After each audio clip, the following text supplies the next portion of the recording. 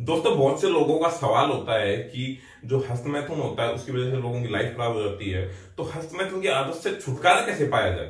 तो आज के वीडियो में मैं इसी बारे में बात करूँगा कि हस्तमैथुन की जो आदत पड़ जाती है कुछ लोगों को, उससे छुटकारा कैसे पाया जाए, क्या तरीके अपनाए जिसकी वजह से हस्तमैथुन से छुटकारा पाया जा सकता है। तो बने रहिए मेरे साथ। वीडियो के अंत तक अगर आप हमारे चैनल पर नए हो तो सबसे पहले हमारे चैनल को सब्सक्राइब करें, ताकि ऐसी इंटरेस्टिंग जानकारी आपको आगे भी मिलती रहे। नमस्कार दोस्तों, मैं हूँ डॉक्टर मनीष शर्मा, आप देख रहे हैं आयुर्वेदा किंगडम। दोस्तों, जो हस्तमैथुन की जो लत होती है नॉर्मली अगर आप किसी भी आज यंगस्टर को देखोगे, या फिर आज की डेट में तो कुछ छोटे छोटे बच्चों को भी है चौदह साल के बाद से है ना, ये हालत स्टार्ट हो जाती है कि वो हस्तमैथुन की गंदी लत पड़ जाती है उनको। तो ये चीज़ मैं आपसे एक खुल के बात करना चाहूँगा इस बारे में, क्योंकि एक ऐसा टॉपिक है जिसके ऊपर मैं आपको खुल के बात करूँगा, तभी आप अच्छे से समझ पाएँगे।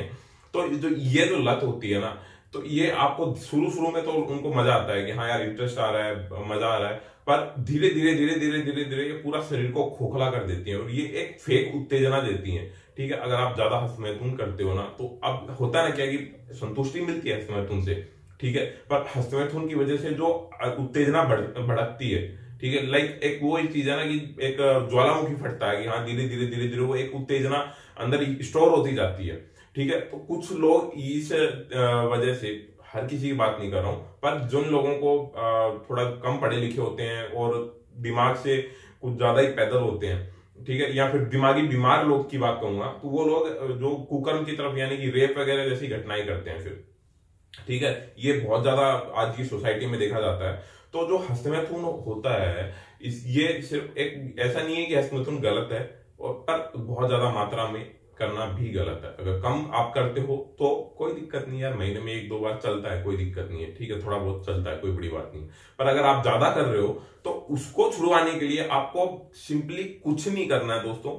सिर्फ़ सिर्फ़ एक सबसे बड़ी चीज़ है किसी भी फेक विज्ञापन या फेक धोखे में ना किसी डॉक्टर या किसी नीम हकीम के कि भैया मैं हस्तमैथुन की लत छुड़वा सकता हूँ।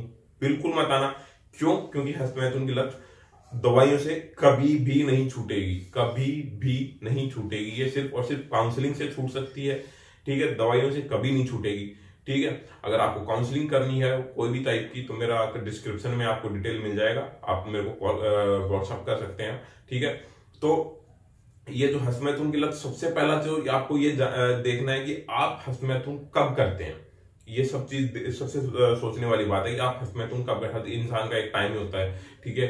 लाइक कि भाई, रात, कुछ लोग रात को करते हैं, कुछ लोग दिन में करते हैं, कुछ लोग बाथरूम में अलग अलग सबका अपना अपना अपना फंडा होता है, ठीक है? कुछ लोग ब्लू फ़िल्म देख के करते हैं, कुछ लोग फ़ोटोज़ देख के, अपना अपना सबका फंडा होता है। तो ये चीज़ अपने को जानना ज़रूरी है कि अपने को पहले ये चीज़ को अपन पॉइंट करें नोट करें कि हाँ मैं इस वजह से करता हूँ और इस समय करता हूँ सबसे ज़्यादा, ठीक है? फिर उस चीज़ को मार्क करें। जैसे अगर आप रात के समय करते हैं तो सीधी सी बात, आप अकेले सो रहे हैं। तो सबसे पहले आप अकेले सोना बंद करें। ठीक है? दूसरी बात, अगर आप ब्लू फ़िल्म देखते हो तो इस टाइप की साइट्स को खोलना ही बंद करें। ठीक है? अगर ज़्यादा ज़्यादा आप कोई कॉमेडी मूवी देखो एक्शन मूवी देखो रोमांटिक मूवी बिल्कुल नहीं देखें। ठीक है? और या फिर अगर आपको ऐसा ही है तो थोड़ा धार्मिक मूवी देखें। सुबह सुबह योगा करें आप। ठीक है? आप प्राणायाम कर सकते हैं, अनुलोम विलोम कर सकते हैं रनिंग कर सकते हैं, ठीक है? सर्वांगासन कर सकते हैं और शीर्षासन कर सकते हैं। ये आपके जो अंदर आपकी जो एक्स्ट्रा उत्तेजना आ रही है, उसको शांत कम करने में थोड़ा फ़ायदा करेगा दोस्तों। उसके अलावा आप अगर आपको लगता है कि यार बहुत ज़्यादा हीट हो रही है बॉडी में तो आप चंदनासव का यूज़ करें या फिर आप एलोवेरा जूस का यूज़ करें। सुबह सुबह एलोवेरा जूस लें, एक तकरीबन पंद्रह से दस से पंद्रह एम वो एलोवेरा जूस लें, वो आपको बॉडी को ठंडा रखने में फ़ायदा करेगा। उससे आपका जो दिमाग में नेगेटिव विचारधारा नहीं आएगी। साथ ही साथ जो मसालेदार चीज़ें हैं, उनको कम खाएँ, ठीक है? जो मसालेदार चीज़ें क्या होती है ना कि बॉडी को हीट देती हैं, ठीक है? ये चीज़ आपने कभी नोट की होगी कि जिस दिन आप ज़्यादा तीखा खाते हो ना, उस दिन आपको ज़्यादा इच्छा होती है कि हाँ यार सेक्स करने की या फिर मैथुन करने की। तो ये चीज़ें ध्यान रखेंगे थोड़ा तीखा कम खाएँ, ठीक है? पौष्टिक खाएँ, दूध वगैरह पिए, सब कुछ खाओ, करो, कोई दिक्कत नहीं है, पर तीखा मसालेदार कम खाओ, जिससे आपको बॉडी के अंदर हीट कम आएगी और आपको मैथुन करने की जो इच्छा होगी, वो कम होगी। ठीक है?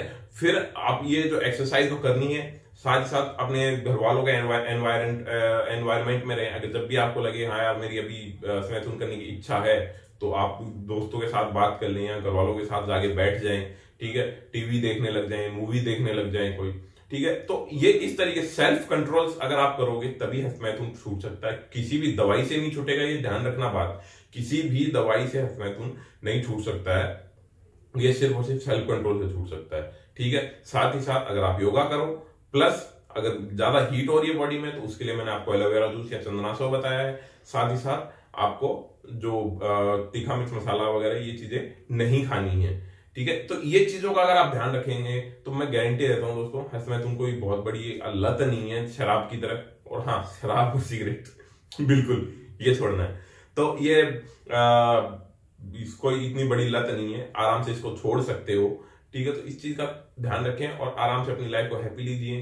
क्योंकि ये चीज़ लते जो कैसी भी हो लत कोई भी हो नशा कोई भी हो बर्बाद करता ही करता है। तो आज का वीडियो मैं इसी के साथ समाप्त करूँगा आज कि नशा छोड़ो चाहे वो कोई भी हो चाहे सिगरेट दारू कोई भी या फिर हसमैतून नशा नशा होता है। सो so, वीडियो में अगर आपको कुछ भी अच्छा लगा तो प्लीज़ वीडियो को लाइक करना ना भूलें। अगर आप हमारे चैनल पर नए हो तो सब्सक्राइब करें। इससे हमें सपोर्ट मिलता है। बेल आइकन पे क्लिक करना बिल्कुल ना भूलें। मैं मिलता हूँ ऐसे किसी इंटरेस्टिंग जानकारी के साथ। तब तक के लिए नमस्कार।